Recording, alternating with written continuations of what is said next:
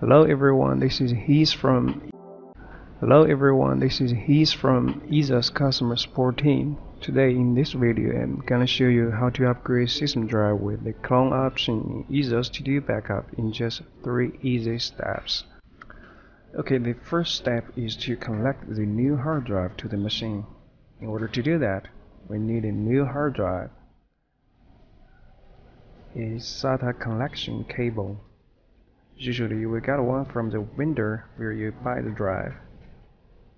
Just disconnected all the connection cables and wires from the case, then lay it down and open the side cover.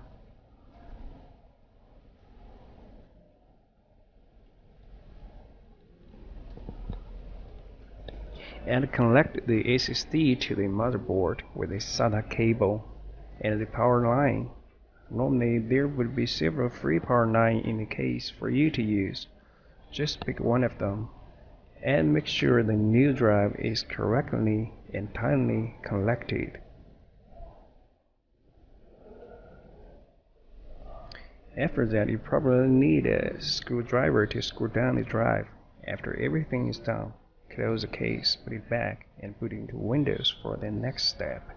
Now we need to initialize a new drive and actually run a clone process. If you did everything correctly in step 1, you will get a prompted message with two options MBR and GPT in Windows Disk Management.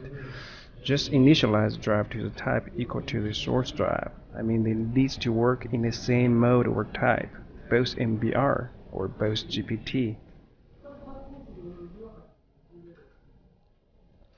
And now it's time for Todo Backup to show you the magic. Just launch it. You may install it on a source drive and click System Clone to start the process.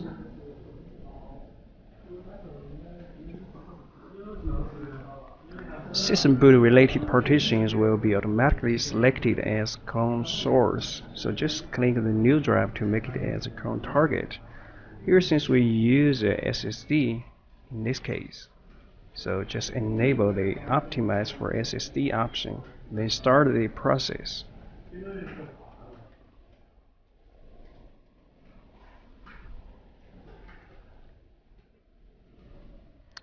I know the backup speed really concerns most users, but since the backup speed varies in different cases, different hardware and different system performance, so there is actually no way to give a certain answer. All we can give is that on average it takes one hour to transfer 100 gigabytes data.